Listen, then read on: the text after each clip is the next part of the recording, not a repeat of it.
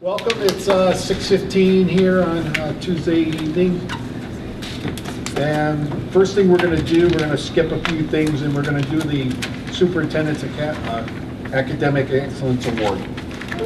Excellent. All right, with us tonight, I have Gabe Jones Thompson. Or Thompson, why don't you come on up here, Gabe?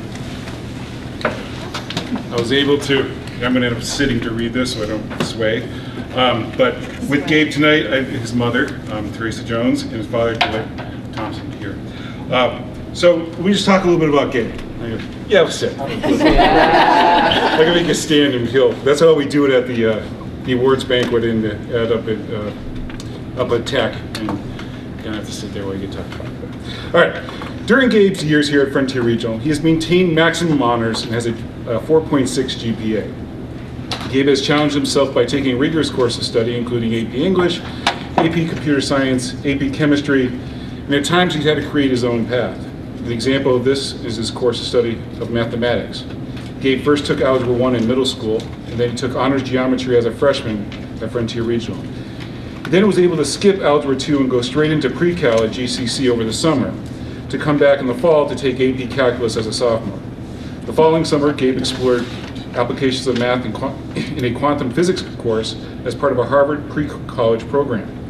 In Gabe's junior year, he took AP Statistics at Frontier while studying Calculus 2 on his own. The following summer, Gabe took Calculus 2 officially at UMass, which allowed him to take multiple variable calculus this fall. So as you can see, when we can't provide the course, he went out and found his own course. Just a real, a real showing of the kind of academics um, Gabe pursues. Outside the classroom, some of Gabe's many activities include playing guitar for the Rockin' Red Hawks. He's also a member of the varsity basketball team that just won the league title. Um, I heard you had a great game last night. Coaches of the coaches the Ultimate Frisbee Club, performs in the drama club productions, tutors, and volunteers for the Junior Olympic and referees basketball in the area of youth programs. Karen Zayomic, Gabe's guidance counselor, and now we're talking about Gabe. Karen told me, Gabe has qualities that take him beyond, beyond a good student and community member. He has a genuine kindness and caring that is framed by his humble demeanor, not seen in many students. She went on to say that she checked that box. That box that you check on a college application that says, when the top few, when the top few students I've encountered in my career. And Karen Ziomic has been in our district for many, well over 20 years. Um, so to check that box is a, is a significant statement about Gabe. So that is impressive. When I spoke to his AP English teacher, Melissa Strokey, she com- commented on his love of learning and how Gabe approached learning. She said even the task was not enjoyable, he would bring humor and energy and 110% effort. A glimpse into Gabe's personality, which is fun, creative, and humorous. We had a poetry slam at Frontier. We had one each year at Frontier. We also use Membean at Frontier. And Membean is a vocabulary skills software that students use in high school. And you can just imagine a vocabulary, you can imagine what that looks like and how that, so many students may not, it's not popular to all students. Gabe decided to perform an poetry slam in front of the entire school about Membean using the sophisticated vocabulary it pushes on students. And he brought down the house. A clever pushback to a task he didn't love, but by applying humor and energy, Gabe made it fun for all. I was thinking about Gabe and his great attributes as a person when I suddenly it hit me. Gabe is a young man of great character. You see all those people who out there who are successful, the sports stars, the actors, the directors, the CEOs, and all you all you think of those people could just use a little bit of character. Good character is an attribute that is difficult to teach, but in my eyes is appreciated the most. We are sad to see leave Gabe Frontier Community as a student next year, and I've recently learned he's been accepted to Haverford College, Haverford. Haverford College in Pennsylvania. So, Gabe, I want to congratulate you for the superintendent's academic excellence.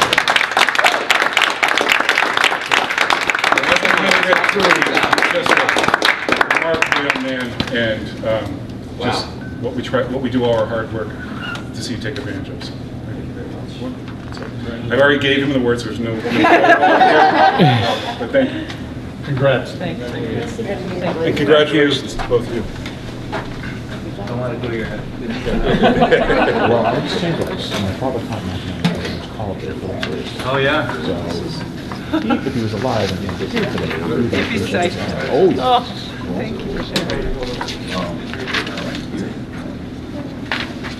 Take care. Thank you. Congratulations. Okay, we're going to approve the minutes from uh, January 7th, please. Second. Any questions? All in favor?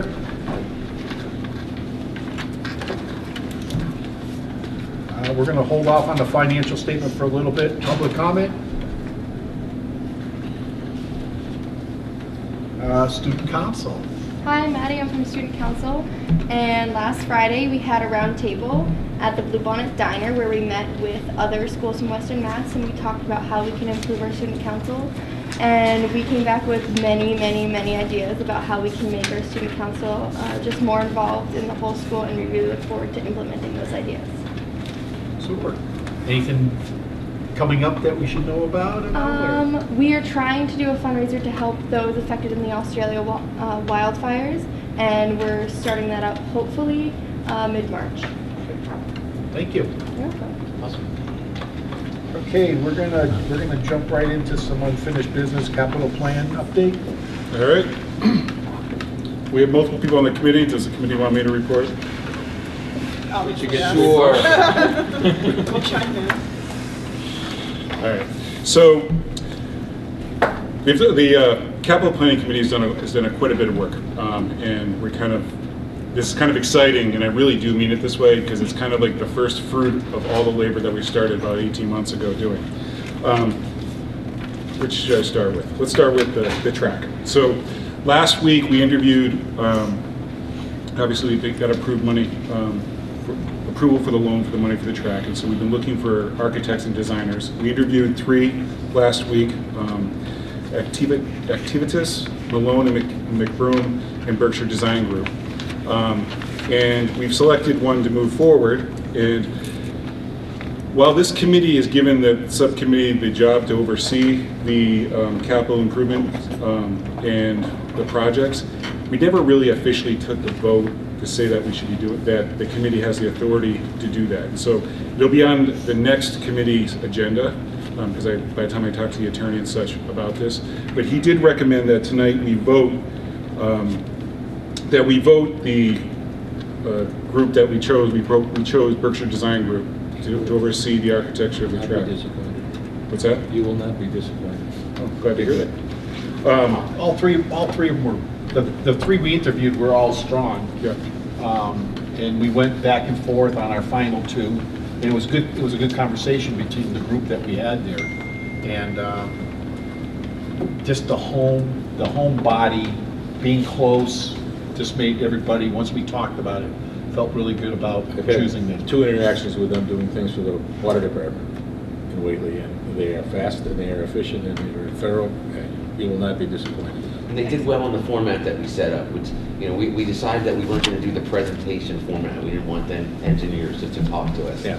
So we worked out ahead ahead of time, detailed questions, and I thought they really did a good job of, you know, getting the information that we needed.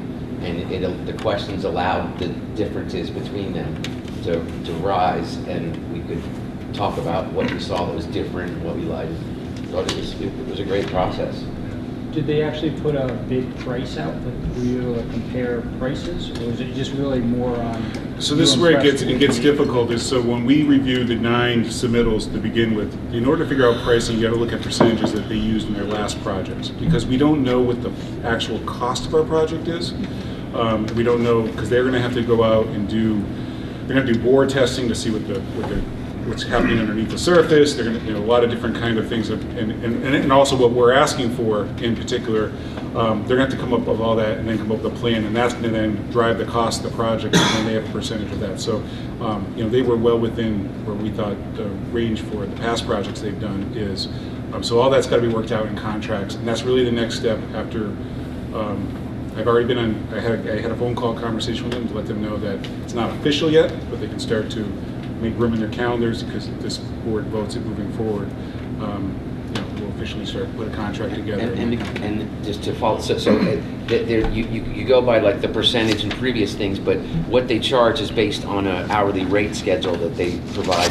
Uh, So one of the advantages to them is that they're, uh, they're headquartered in Northampton, whereas the other one was, was a- is a Connecticut outfit with a satellite office in Springfield, and the other one was uh, uh, Dedham, Dedham. And so, so when you, when you just think, you, you- and and you're, you're you're paying them. You're paying post to post. Exactly, Absolutely exactly. right. So, so that, that was part of it. And also, we had, the committee had talked about um, using Andrea Woods from FRCOG to do a lot of the procurement stuff or a lot of the bidding management stuff for, for going down the, and uh, her hourly rate, that, because it's, the county government for us would be less than what the engineers would charge for similar work. So we want, so, that- and they had extensive experience working with her, which is gonna lower the cost of the project for us.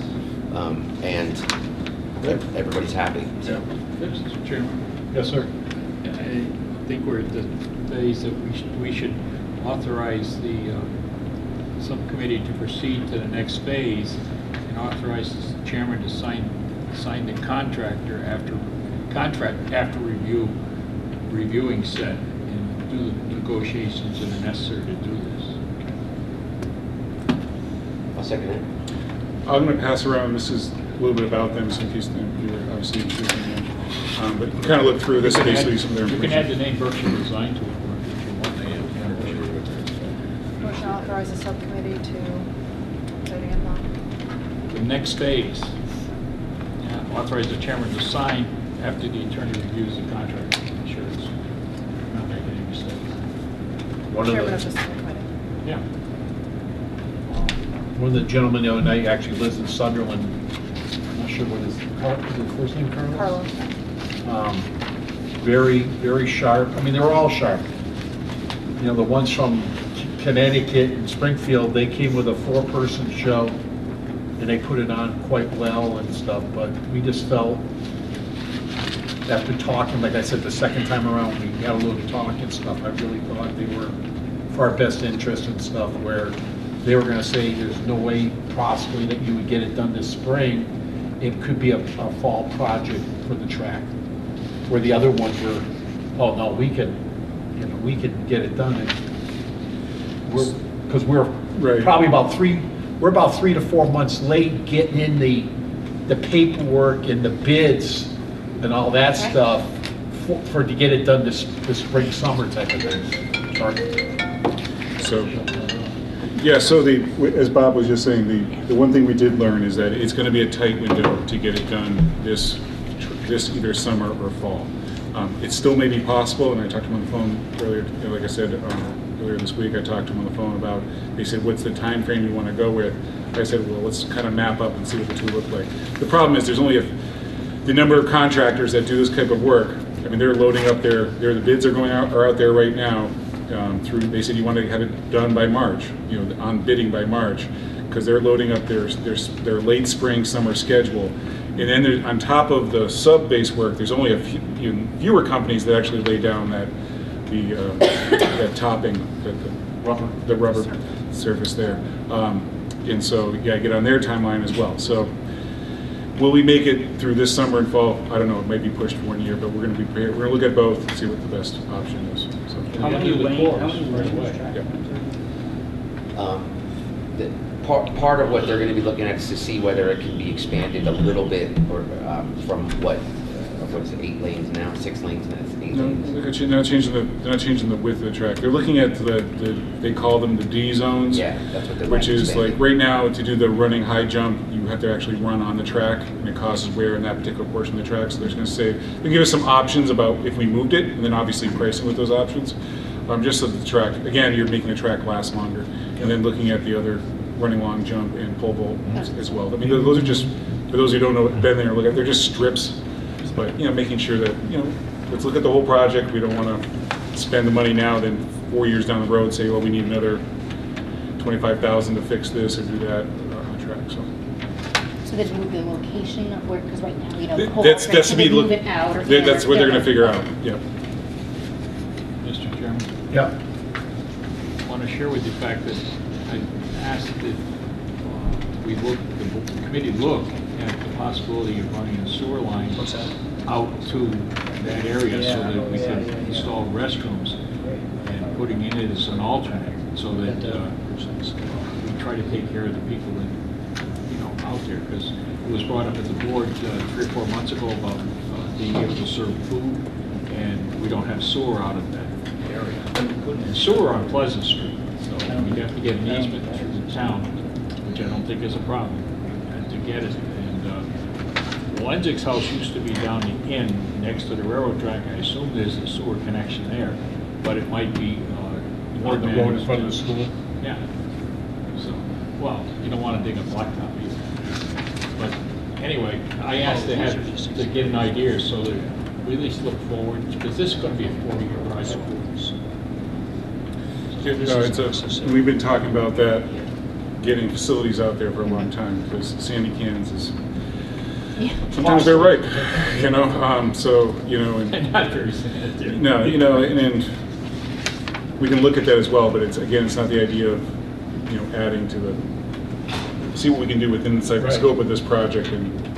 We just don't know how much, how much, the core, the core samples, and all, all three of the people did talk about doing cores.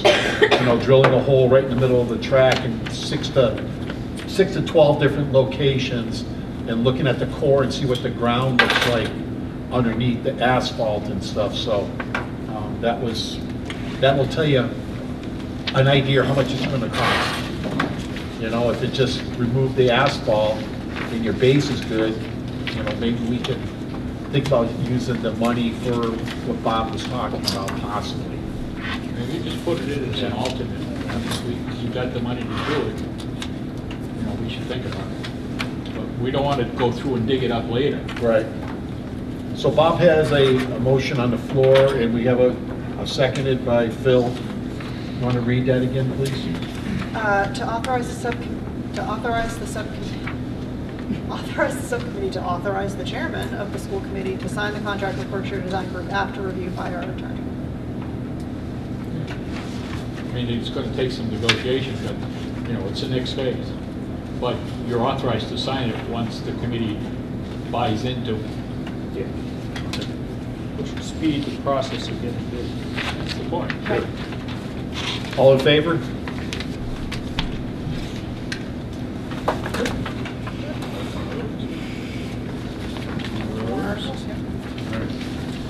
So, You, anything? Are you still talking? Okay. yeah, I'm still gonna go and read this phase two, what we talked about.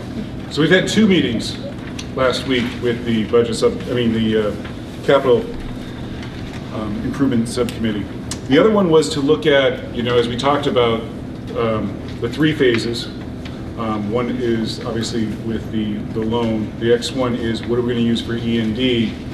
We talked about a third, a third, a third. A third to put down the assessments, a third to hold, and a third to use toward um, backlog projects, um, building improvements.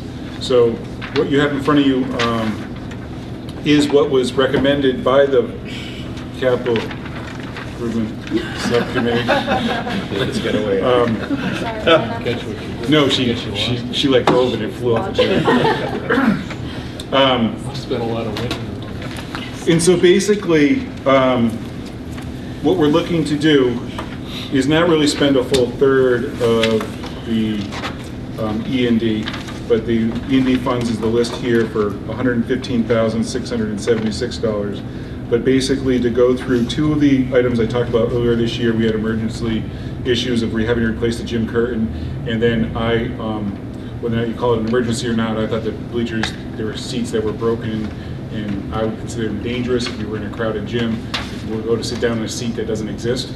Um, But those we had re- repaired in the middle of the basketball season.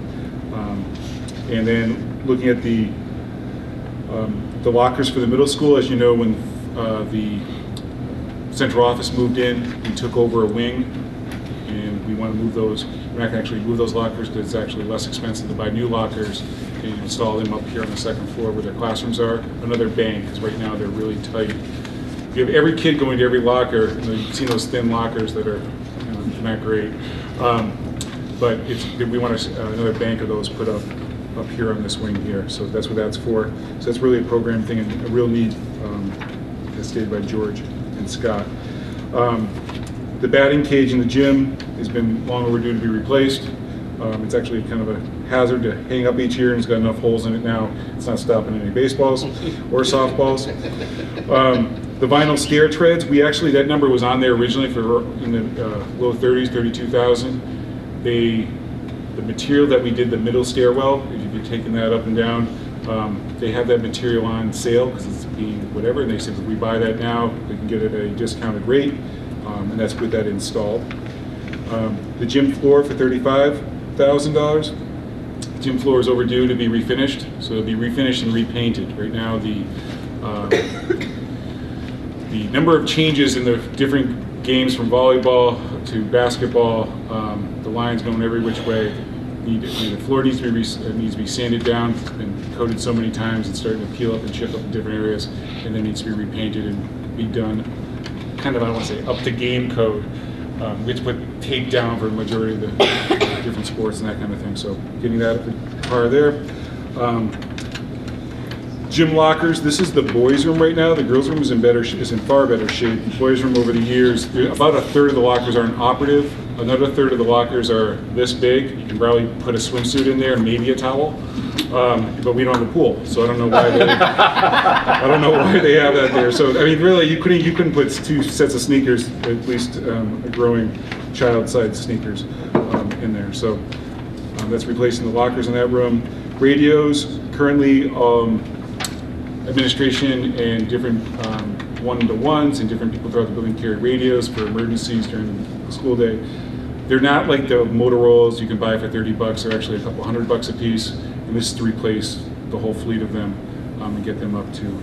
I was looking over you, George, if you have to jump in, but that was a kind of a priority for George because good communication um, is important.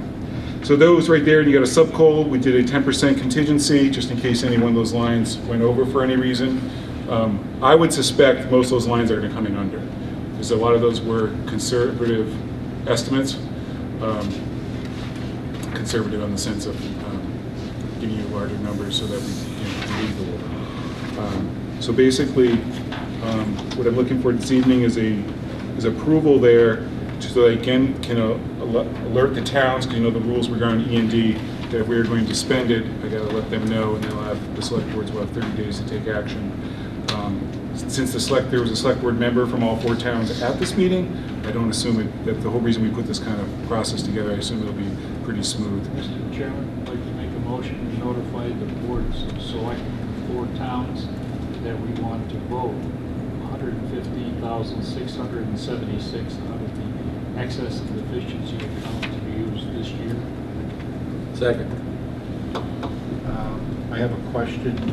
On any of these, do we have to get three bids?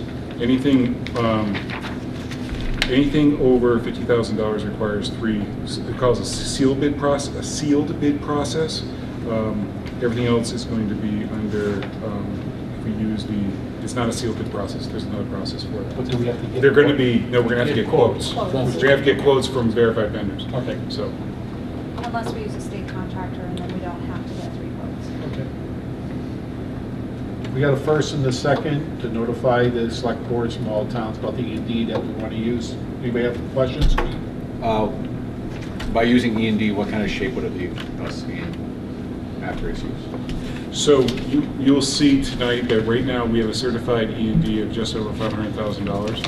Um, We're looking at using um, two hundred thousand dollars to knock down the assessments, and that's what we used last year.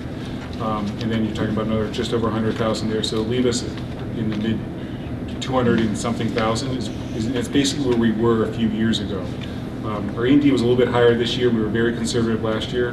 Um, As we know through, we had um, concerns going through the budget season that, you know, we were very conservative on a lot of different areas. And also, a lot of these projects we held off on, and so knowing that this was coming forward. So, so we'll be in a healthy spot. Um, And then I, I hope to have that we'll be replenishing some E and D by um, having some savings from this year.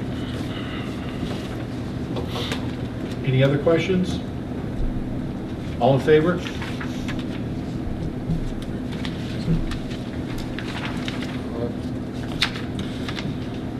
The third column, the other process, that's why I said it was exciting. It's, a- these are a lot of small little nagging projects that um, are just, when we, when we do them, it's just going to improve so much around this building.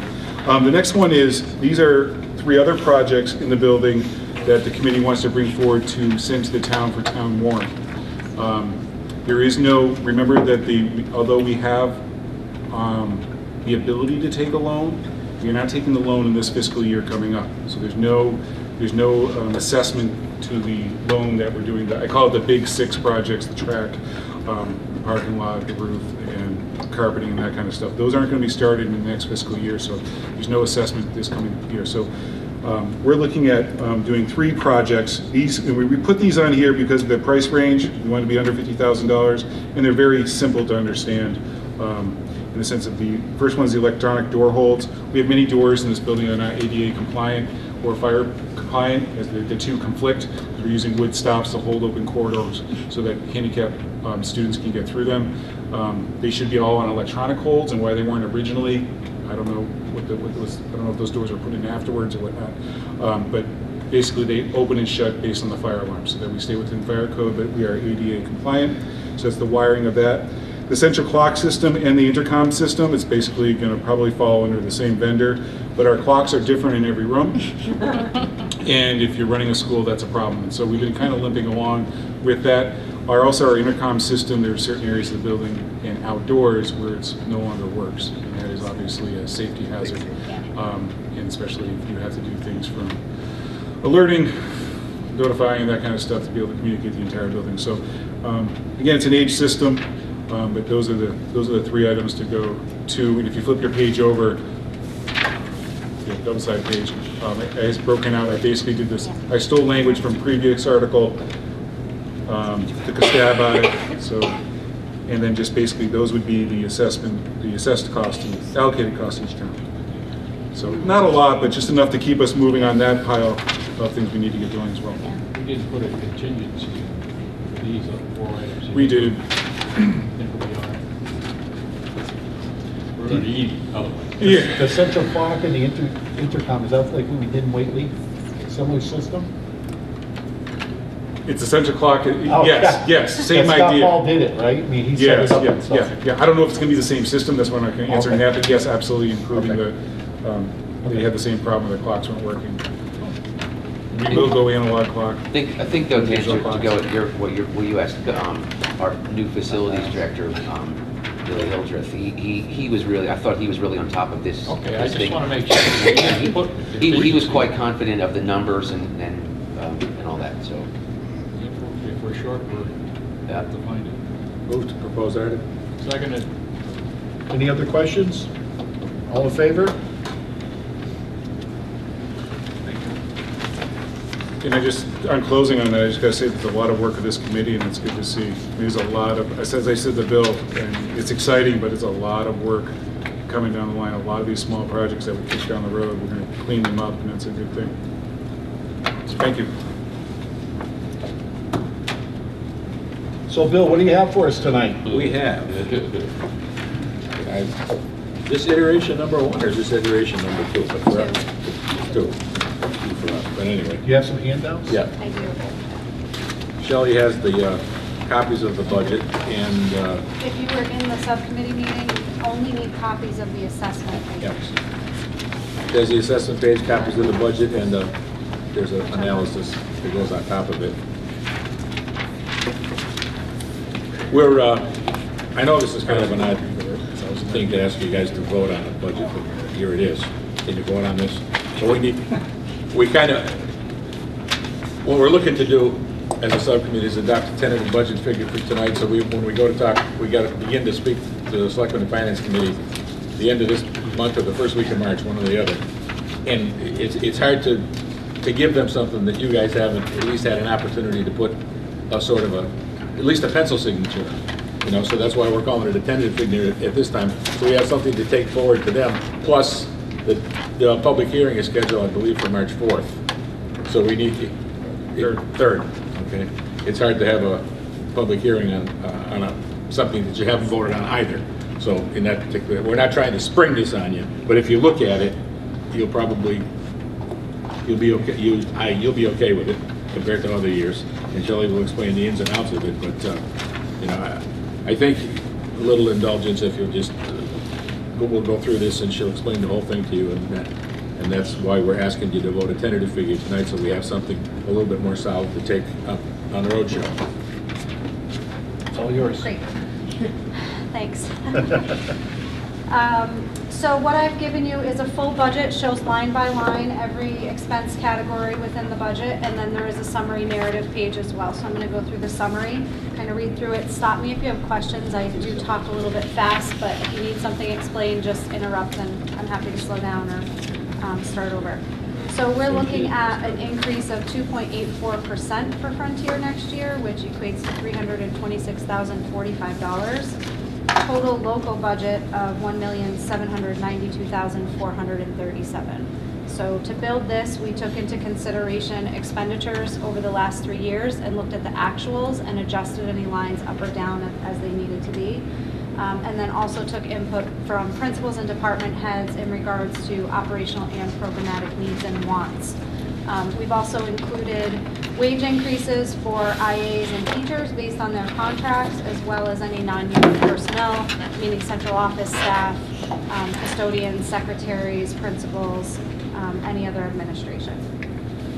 Uh, So the general fund um, is not the only funding source for Frontier. We also have revolving funds, so we're looking at a total, including our revolving funds, total operating budget of $12.5 million next year. Um, And those alternate funds, the revolving funds, are also included in the complete budget workbook. I'm going to highlight here the changes to the general fund. Um, Some of the comments that are on here don't impact only the local, so I'm giving you, for example, the overall increase in teacher salaries. It- That is looking to be at 135,000 or 2.99% increase for our teachers next year. Some of our teachers are funded from other funding sources, whether it's special education revolving, early childhood revolving. So that's not all a direct hit to the local budget. Um, But overall, just did want to make you aware of the increase.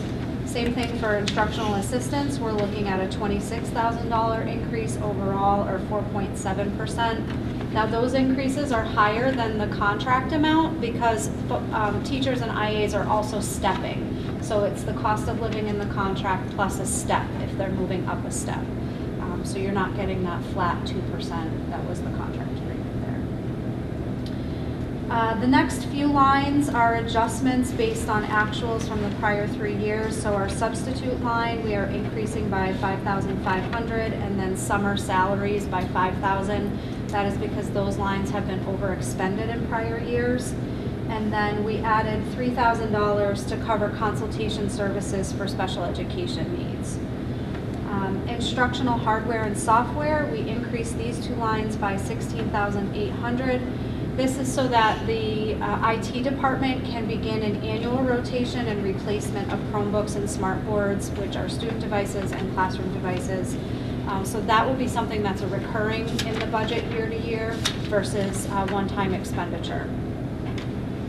Uh, We have a new keyless entry system. You all know that. We- That was funded through the grant this year, but we do expect that there's always some unforeseen maintenance to those types of new systems. So we added $1,500 to cover any unforeseen maintenance costs there. Um, Maintenance of grounds, we increased slightly by 1,500 based on actuals from the prior three years. We increased custodial wages by $5,000 to account for summer and overtime. Again, that was also looking at the actual expenditures from prior three years.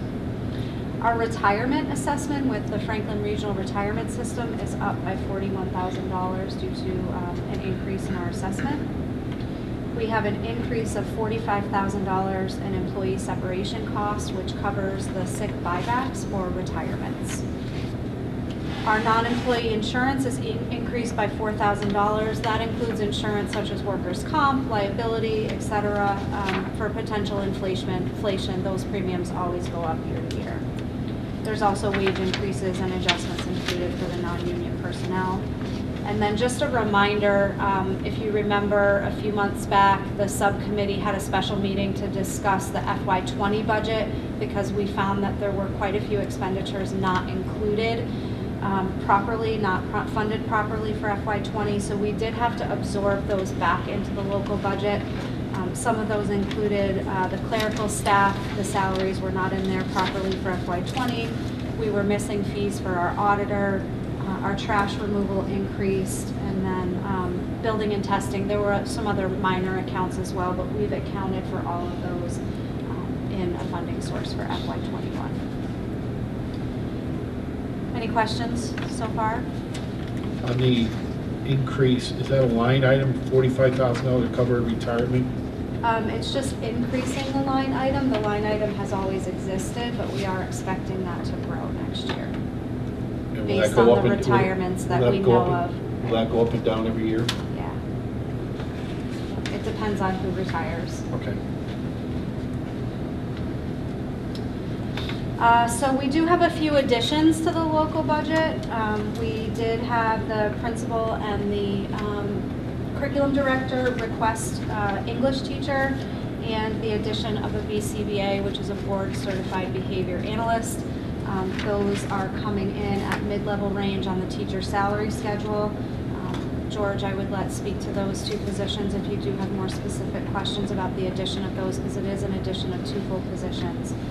Um, And then uh, we also had to move a teacher off of the sped revolving account due to a change in the um, tuitions coming in for students into our, our special ed program.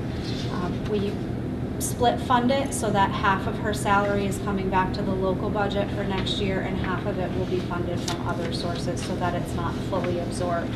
So it's a, a add of two and a half teaching positions to the local budget next year. One of them already exists, the employee already works here, we're just changing her funding source, and two are brand new positions. Have any questions about that?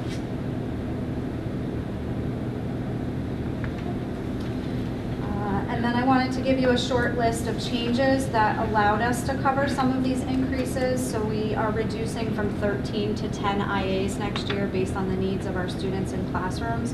Um, We're also moving one IA on to be funded from the sped revolving account. So that was a reduction of $80,000 to the local budget. So that's helping offset the salary increases as well as the increases that I talked about above. Uh, We have a decrease in employee insurance by $4,000. There was a one-time insurance adjustment in FY '20 that we had to pay out to our employees, certain employees that fell within that contract. Um, So that was a one-time expense that we were able to pull off the budget. And then our out-of-district placement, uh, we have students that will not be going out of district next year, whether they've aged out or, um, you know, are no longer in our program, but that's a reduction of $50,000 to the budget based on.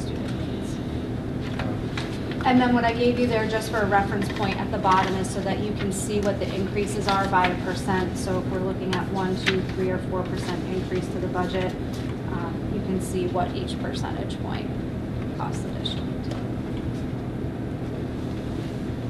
I was looking at all the ones that we increased over here, and and I always remember the ones where you have an increase, and you would have a couple of decreases. And I'm saying, where are the decreases? And I finally see down the bottom, this little list down here, they're big. okay?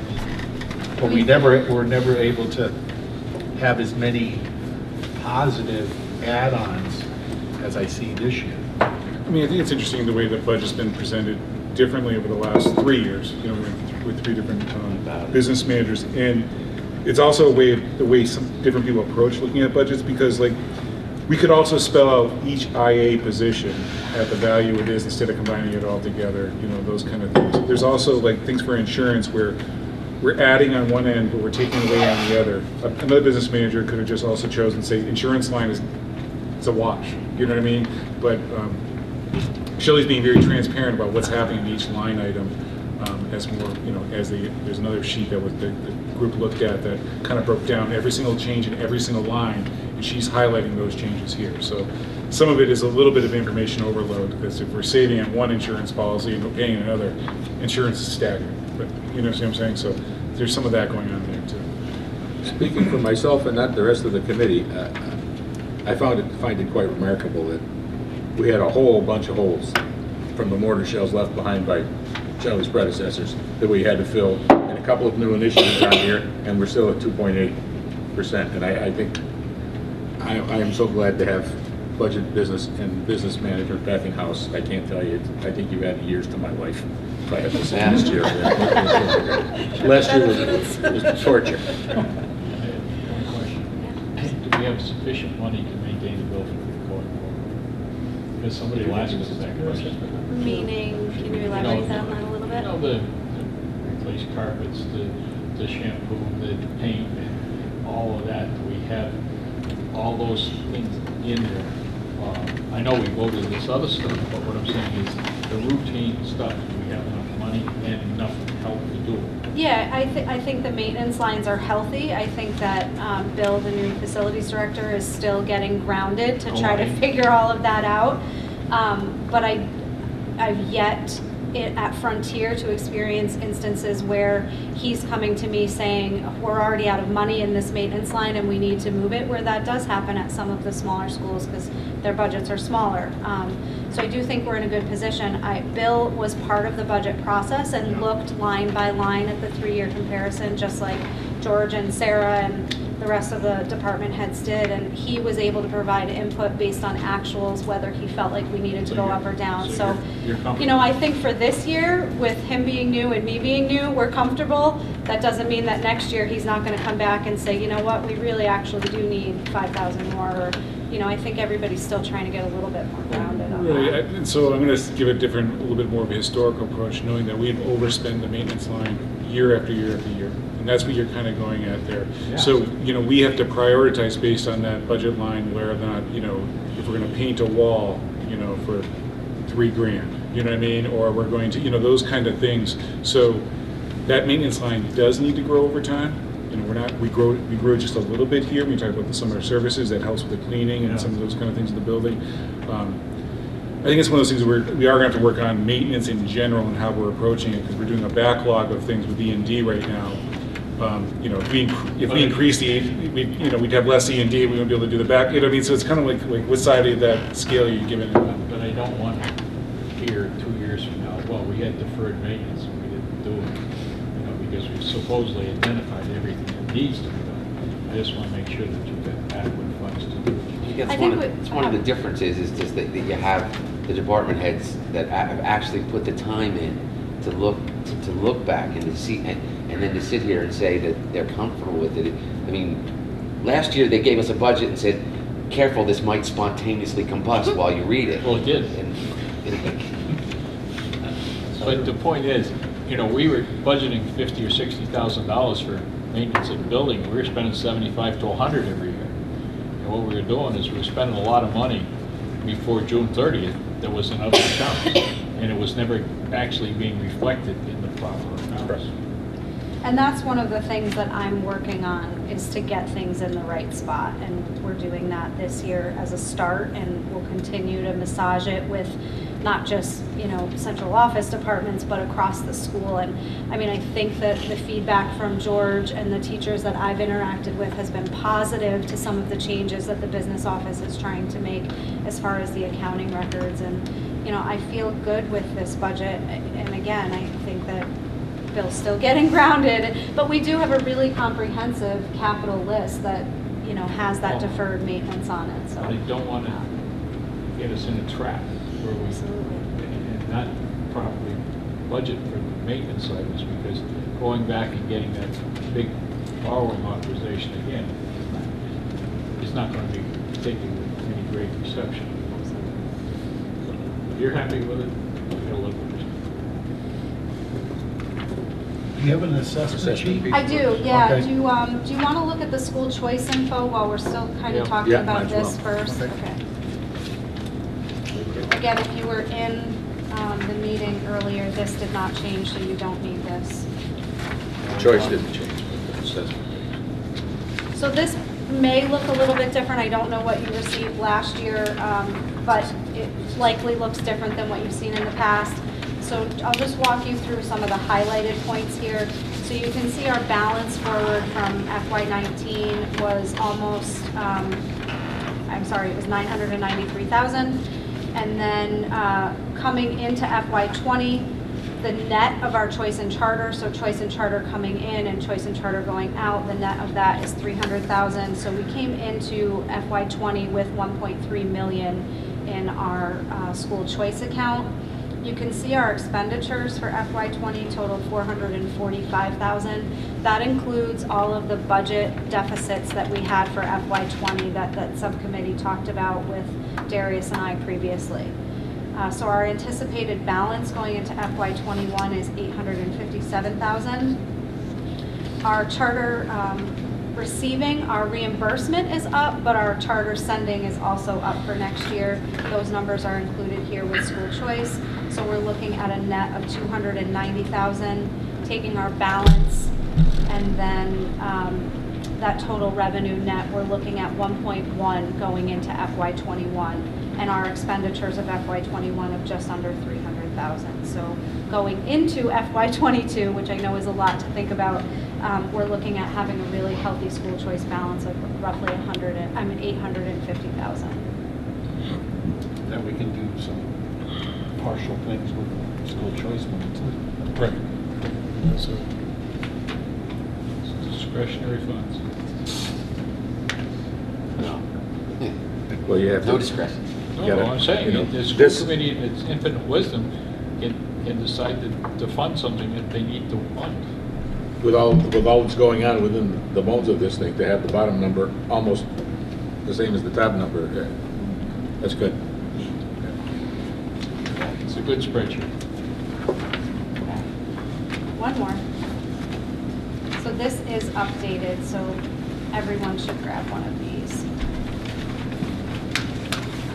It is a little bit smaller print because I wanted to get it on one page for you. The top bit of information uh, demonstrates the general fund expenditures, the transportation expenditures, the Chapter 70 aid, the excess and deficiency credit that we're applying, the transportation reimbursement, which leaves an amount to be funded of 8.5 million. The state is saying that the towns must contribute 5.4 million, so we're left with a balance of 3 million uh, to, to be funded here. The enrollment numbers are there, and then you can go through uh, town by town. Conway is looking at a $33,000 increase over last year. Deerfield is looking at a $153,000 increase over last year. Sunderland is decreasing by 38,000 over last year, and Whately is increasing by 53,000 over last year. The percentages uh, by, based on enrollment are up above as well. A minute to- We have this uh, discussion every year about the victims of the formula. And Sunderland is a benefactor of the formula this year, and Whately is the victim of the formula, because they have one less student than Whately, but their assessment is up by five percent. Because the state says that Whately shouldn't be spending X amount of dollars on their kids based on having this many students from Whately in the system, so the formula generates this. Not a, not a blessed thing you can do about it. Somebody get, somebody gets it every year, and it's, it's my turn. I think it's even more diabolical than Yeah, that but we've because- been, we've been hit over the years many, many, many, Oh, we- I many. mean, we all take, last year, last year. Last year was your turn. And, and the the EQV that they, that they determined that your chapter seventy local contribution. Equalized valuation is what And- EQV and is, and that's where Yeah, it you, comes you from. you think, you think your town has enjoyed a measure of success, whatever, you Yankee Candle opened up a new little manufacturing, fac- uh, research facility with new employees in, in Whately, or the solar farm comes online. And, but what you don't realize is that every little municipal success that you have, every little thing that generates more revenue for, that, that you end up that ends up getting calculated against the town in the school assessment the next year. Then that you end up having to pay more because your town enjoyed a tiny little bit of success. Just- So, How much, how much money did we get in chapter 70 versus last year? Is it minuscule? Yeah, it's not a lot. Okay. Didn't bring that paper. That's all right. I do have it saved. Hey, Bob, what did you want to I, ask? I got a couple questions. I think the figure that we want to move is the eleven million, seven ninety-one, two seventy-one, which includes, uh, so much for the general and so much for the transportation. Because you Sure. vote the total budget, you don't vote the assessment, you vote the total budget, Right. okay? That's not the total budget, though. What do you mean? The total budget, the school's total operating budget is twelve, five, one, five, four, four, zero. But we're just looking at the local here, because the local is the only contra, is the only This is thing what that we hits have to the get an town. appropriation. But I have one question before we get off of this, is what is, we got to think on the school choice monies, how about the sped revolving ones? Do we have, do we know where we are on, on sped revolving, is there any money there? Uh, there is some money there, yes, we- there will be a surplus. Um, it's sort of a moving target, uh, as Karen tries to figure out tuition coming in versus expenses going out. Um, this spreadsheet does show you the expenditures, it does not have the revenue amount on it, but we really level funded the other funding sources from twenty to twenty-one. And we got the aid from Medicaid, Right. reimbursements for that are also included there, so. I, I don't see any problem with the budget. I- I'll move the eleven million, seven ninety-one, two seventy-one, unless you want to move it a different way, Bob. Yeah, good question. The, um, I thought last year, the transportation budget went up, correct, the transportation? Transportation reimbursement is up for So, FY how- twenty-one. I mean, it's good, but how did the transportation change go down for everything? So the amount that the state is saying they're gonna reimburse us went up. So the town's contribution for transportation is going down. So last year, four hundred and thirty-two thousand was the transportation number, and we only received reimbursement of nine hundred, or ninety-nine thousand. This year, they're saying your reimbursement is gonna be hundred thousand dollars more. And so out of the Student Opportunity Act that we heard so much noise about, we got very little from. That is the one area that they did push that, when they originally did regionalization, they were gonna, they were gonna uh, refund transportation at hundred percent. You know what I mean? And then it happened, went to eighty percent, and then it went all the way down to fifty-something percent at one point. Um, They're now trying to get that number back up. So that is the one, that number is back up and, and you Give know, us that. benefiting being a regional school. Number again, Phil? Yeah, to fully fund regional transportation costs all across the state is another 59 million. They refused to do that.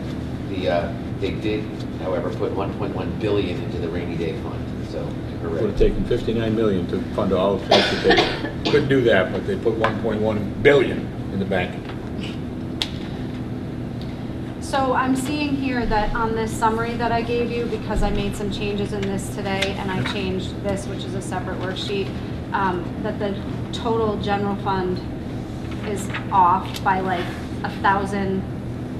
This narrative says eleven million, seven hundred ninety-two, four hundred and thirty-seven thousand, and this is eleven million, seven hundred ninety-one, two hundred and seventy-one thousand, so it's like a thousand dollars that I need to reflect properly on this sheet. for the assessment. Which one? Which one do you want them voted? Um, we need to vote on the one that's on the narrative, eleven the number you wanna use in Because that's the accurate one. This is a Eleven separate sheet that- ninety-two. So moved. Right. Second? Yeah, Temp, uh, what's the word, I'm- what's the word, I lost it. The budget, not a final, not a final, tentative budget. I put a please. proposed, a proposed. Yeah, Proposed tentative, whatever you want to call it, but even It's the though, proposed tentative budget, it's both. Proposed tentative maybe budget. Um, Bob, to answer your question earlier, so Frontier is getting seventeen thousand four hundred thirty dollars more in chapter seventy-eight, point six one percent change. It's a little bit, helps, helps. it's not, it's, I know. it's a trillion dollar initiative, 20-year initiative, trillion, this is what we get. It's made nice press, though.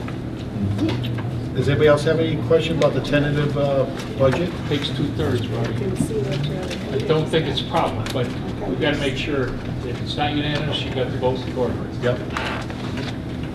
Anybody else have any questions? All in favor of the tentative budget? Raise your hand. Raise your hand. Well, we were talking, I assume he's gonna go for it. He moved it forward. Right. I'm pretty sure that. Uh, it even a to be- tentative, you have to- used to say two-thirds, I'm not, not sure exactly what the language is here I think we talked about this a year or so. We probably talked about it every year. You're the one who's supposed to remember it. To do it unanimous is much better. Who's gonna be the next chairman? Who's gonna be the next chairman? We all done? Just would, would like to congratulate the budget chefs. They- The budget chefs. That's exactly what it is. Let's see if the, see if they enjoy the meeting. So painless this year. It's like- We do need to go back and review. I'm just gonna make a note to- for Donna to check with you on the final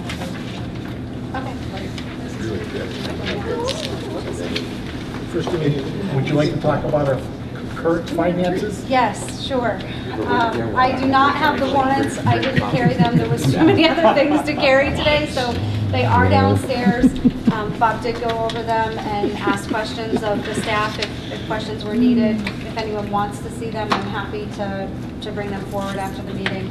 Um, But there were 17 warrants for review totaling uh, $1,627,133.13. Um, I did email out the general fund and school choice expense reports.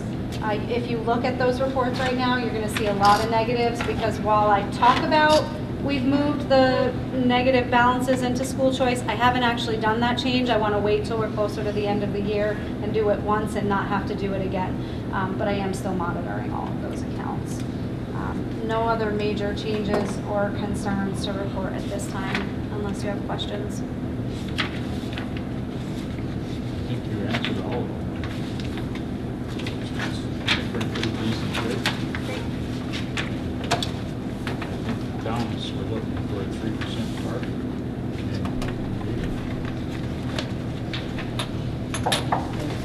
So far. Thank you. Okay, hey, we're doing pretty good for time. Next is our fun time. We get to talk about policies. There's a lot of them. All right, so, We read, we read this month and. yeah, vote this is on the next first, month. this is the first time reading. Um, There are, how many policies on here? So you got uh, five, six policies, and one of them is just a procedure to a policy. Um, Five of those policies are coming from um, MASC, so basically law changes, and it's one of those things where we could get the policy subcommittee together to go through the law changes, but um, I went on a limb to say that was probably not the, um, what the policy subcommittee want to do with its time. Um, And then the last policy is a recommendation from um, the administration at Frontier. So I'll go through these real quickly, and um, I don't, you can tell me to what detail do you want me to go through them? I mean, just do a general overview. Yeah, We just do a general overview. So and- the educational equity policy is basically making sure that um, that you're providing an equal education to all students. And not just education, but all the offerings of your school.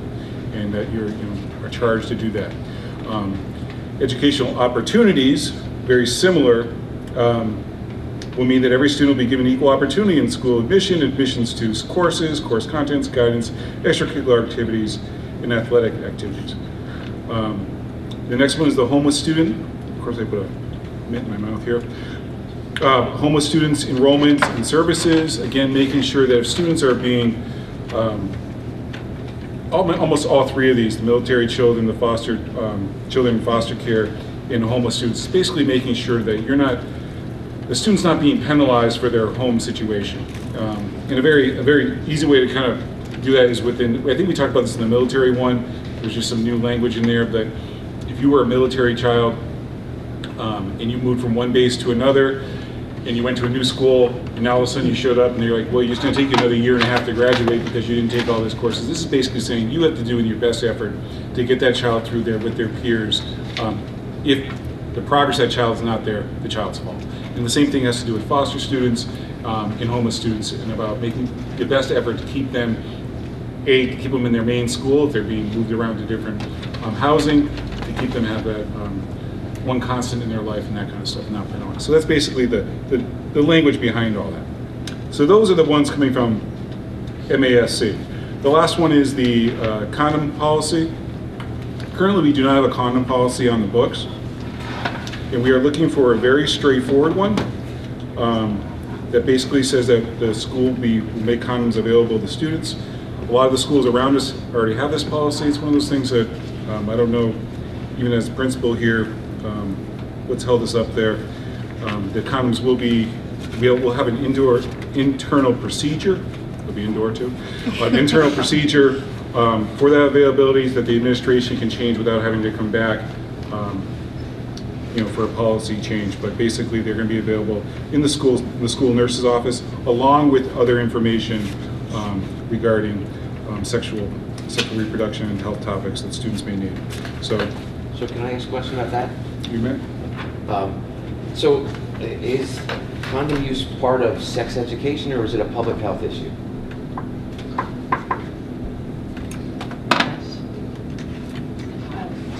Is sex education a public health issue? Well, I mean, i- i- if the goal is to promote condom use, is to have the maximum condom use possible, uh, um, on all other things being equal, uh, then should they not be more freely available than having to go through the process of dealing with an adult at all, number one, or dealing with a nurse in particular? I mean, should they not just be placed in baskets in the restroom? Should they not be placed in baskets uh, outside in the, at the front door as you're leaving? If, the- if the goal is to promote their use, to prevent disease, prevent pregnancies, etc., then, pr- then promote their use. You also have to promote quality control. Right. Well, so what is You it- don't want somebody to have a basket outside before. Why not? We're not talking about a bowl of mints at the Whately Inn when you're walking out the door. Because, Because the kids will look. because someone will vandalize them, and people will think that they're getting a quality product when they are not, and suddenly you're looking at a whole lot of. Or use them to vandalize. Right. So, Yeah, th- and that, like, I, I- I don't know whether, the- the- I mean, there's tons of data, there's tons of schools, and, the- I mean, I, I did a little bit of research, like, that was, that's always been sort of a, a, you- you- we tend to like infantilize our, the, the students, we say that they're not like up for that sort of responsibility, but I think that the truth is that that's, doesn't really show up in the. re- It's not a responsibility issue, what I'm talking about. It's a, I don't want someone thinking that this hasn't been tampered with when it has. It's more the, I don't trust kids enough to leave out a box of condoms and not have somebody put pins through them. Just Put a pin, hold it in, put it back in the, in the That's what I'm the talking bowl. about. There's the mints. But I mean, that could just as easily happen once they leave the nurse's office, or once they leave the And if pharmacy, it- or someone goes whatever. to the nurse and gets a condom, they're probably not gonna put a pin in it themselves. Could they? Of course, have they? Yes. But could you do thirty of them at once? If you're getting them one at a time from the nurse, probably not. Kind of clever, though. You're These the trouble of going to nurse We're trying to do a good thing here. No, I, I do. Put it on the agenda now. Do you have parent opt-out uh, part of your procedure, so that parents can call and say, I don't want this available to my child? And that's another good reason for going through the nurse. no. So, You don't? We don't. And so this was discussed by the um, health, provi- uh, the nurses and our health education teachers, and that it's, uh, right now, to have to go, when you go in the nurse office, you're not going to have to ask. There's going to be an area where there's information regarding um, um, sexual reproduction and different options around protection, and condoms is one of those, one of those things there. So you're not actually asking the adult for that, which we would say kind of defeats the purpose of providing um, condoms. There is some oversight to it, so you have that kind of balance, um, but the opt-out clause, you know, you could come in, someone would have to check the list, are you on the list, um, that kind of thing. And so this, this policy does not include that. So there's two range, there's two ranges. When I talk to schools that have that policy, um, it's not truly enforced, where they have a list, but they're not always sure if they're able to monitor the students who are taking it on that list. So now you're changing it from available to behind closed doors until you have to ask for it, and then, so that kind of is not what the direction of the staff here wanted to go. So, How are they gonna handle the privacy? Who's gonna see who's taking, who took a half dozen, who just took one? well, You know. the privacy of the nurse's office, if you, the nurses But obviously is are it going going to to be, that would, they would, that would be in violation of their, Individual offices, Or is it going to be out there on the counter when they walk in? it's going to be in the- there's a central area when you walk in, kind of a sitting room, would be in that area there. So when they, when kids can walk in, grab, come leave. Correct. So there's some oversight too, but it's not, depending on the busyness of the nurse's office, it's not the, uh, Grand Central Station in there as well. Yeah, I mean, it's, there's so many states that, that you can't even, there's, what, 12 states in the country that you can't mention the word condom in the public school, that that's against the law. That- Let alone, and, and and they, and they teach sex edu, they don't have sex, but what, they have individual teachers that cover the topics by, by, by teaching how to put a sock on a foot. And, um. Are those- because- are those the states that Those are the former Confederate States of America, uniformly. Um, Those things you know that you're still darn your socks. Okay, so-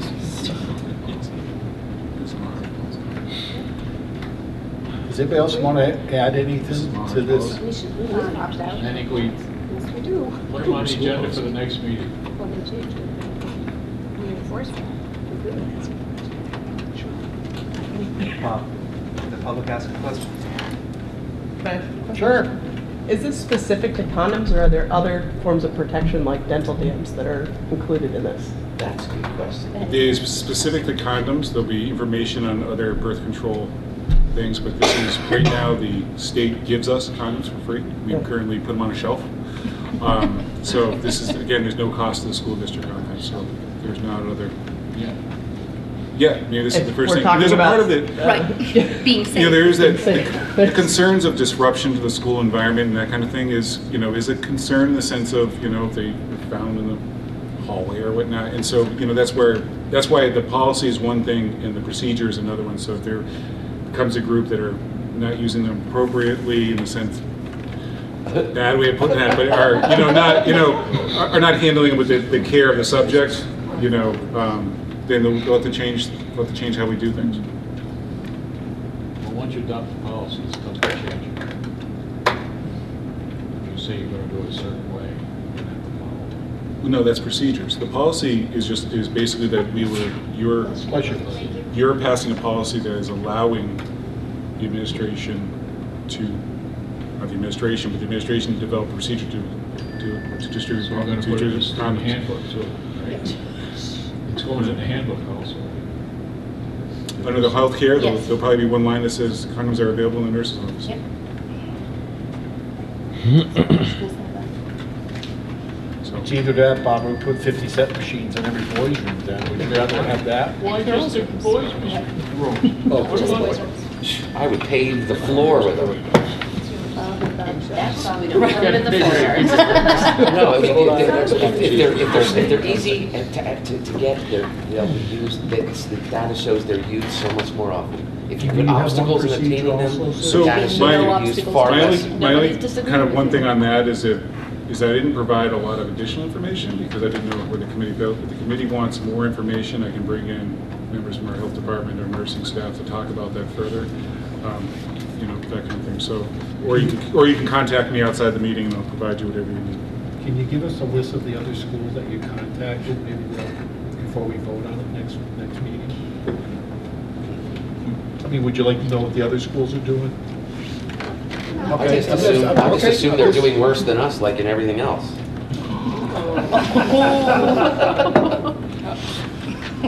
Phil, did you have fun at the budget meeting? Concord doesn't have to spend as much money this year. Let's catch it with We, we happy campers tonight. Huh? We happy campers tonight. Whately's gonna have to pull the, pull the string this year. Yeah. What the hell did you put in these things? Do you have a procedure policy you want to talk about too? That was the last Oh, page. that was- That was okay. on that. Okay. Just so that people had a general idea of how that would work, because it's gonna. And uh, next month, you guys will be voting on this, so. And then I'll be adding more MASC policies to be voted on next month. So there'll be kind of five at a time until, there's 30 of them, but some of them are just very, um, very minor changes, and so some of the minor ones I may not bring forward. Some of them are talk, removing pronouns um, in policies and that kind of thing. So Um, We may just change the pronouns in the policy and then, you know, that kind of thing. So uh, without having to do a revote of it. Okay, reports. Uh, The only thing I may have for you, I may not be at the next meeting. I'm having my right knee replaced, so, so in four weeks from now, I could maybe come, but we'll see how I feel, and if I can, I will. If not, Be out of here in half an hour. Uh, anything from the collaborative? Um, yeah, I've given, um, emailed a bunch of handouts after the meeting, um, but they're lengthy, so I've got them if you want them. We had a lengthy presentation on the 2019 Youth Health Data and Regional Coalition Data. The survey that they do for like 8th and 10th and 12th graders and that sort of thing, and drug use. How about condom use? Do they have condom use on there? They probably do. do. Um, So I've got a a lengthy handout on that if you want information about the 2019 data. And again, they're encouraging people to use their website for professional development. They have curriculum available for vaping uh, prevention curricula, uh, curricula for vaping prevention, and curricula for universal prevention like violence prevention, alcohol, tobacco, vaping, other types of prevention. And that's it. So if you want any of that information, I can email that to you. Thanks. George, what do you have for us tonight, sir? So I've got a, I've got two things. I emailed it to everybody, so uh, if you need a hard copy, let me know after the, after uh, the meeting.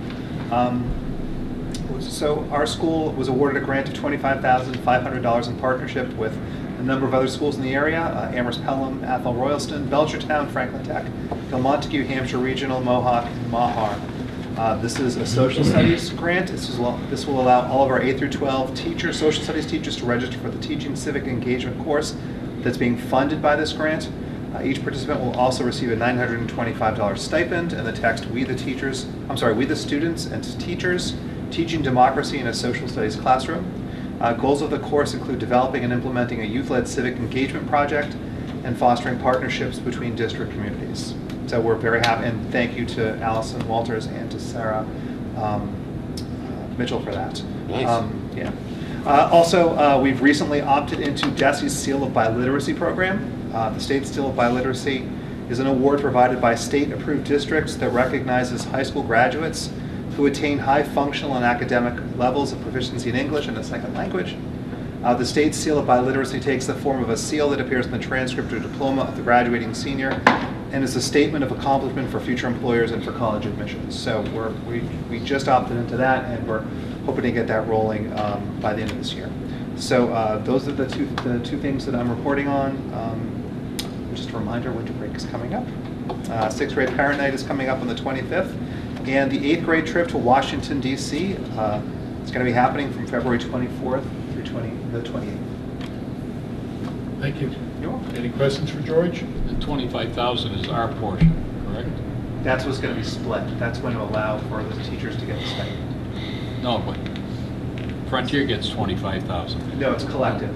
It's 25,500 and it's split between all of. How many are we sending to it? So we have, we are- currently have four full-time social studies teachers. We have one long-term sub. I'm not sure if he's going to be a part of that. So we're going to get 3,600 bucks, roughly?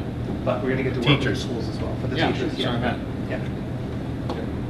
Okay. But, it- but it's also phrased that way because we're the host school. We're the one who led the grant. We others, jo- we others to join on to s- to spread the wealth, so to speak, and also helped us get the grant. But the truth is that we were awarded and then we're inviting those other districts to participate. So So they pay rent? it wasn't like we just jumped out with other people, they jumped out with us. So so we we just gotta just gotta give credit to the people who put their, fill out the grant. We're gonna. Maybe we'll put a management fee. Management fee. Yeah, there you Sure. I'll, I'll, I'll. look I'll into ask for that, right? Yes, yes. That's the 500. Yeah, exactly. We'll get paid in condoms. That's what Potts said. Great, that's great. One more. Oh, Darius, what do you have for us tonight? Nothing. You would have done. Well, we didn't do that bad. Adjourn, Mr. Chairman. Seconded. All in favor?